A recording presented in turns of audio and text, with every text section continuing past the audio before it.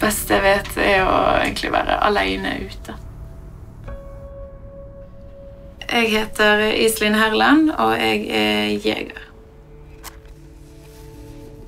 Forholdet mitt til eh, natur og jakt det ble veldig forsterket eh, etter jeg ble eh, syk. Jeg brukte det som en medisin. Jeg var 19 år når jeg fikk MS, noe som var en hel omvending. Fra å være helt frisk til å bli veldig dårlig.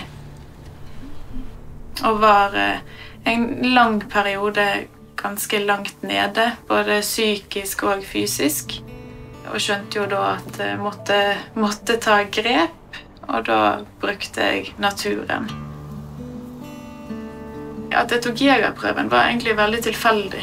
Hadde mye dødtid, da, så jeg tenkte at jeg skulle ta den egentlig bare for å ha den. Norges jeger- og fiskeforbund betyr eh, for meg et sted eh, hvor man kan eh, treffe andre likesinnede og skape et sosialt nettverk derfra.